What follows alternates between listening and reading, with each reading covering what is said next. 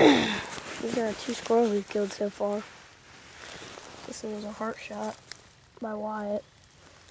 And the pellet is now that little lump right there. We'll get that out later. And I shot this one about 60 yards.